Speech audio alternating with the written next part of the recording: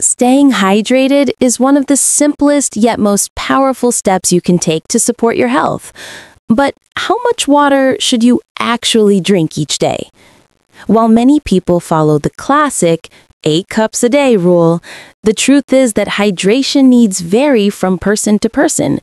Your age, activity level, climate, and overall health all play a major role. A more accurate guideline is to drink when you feel thirsty and aim for light yellow urine as a sign of proper hydration. If you exercise, live in a hot environment, or drink a lot of coffee, you may need more water to stay balanced. On the other hand, drinking excessive amounts can dilute essential minerals. The key is listening to your body, drinking consistently throughout the day, and staying aware of signs of dehydration like fatigue, headaches, and dry skin.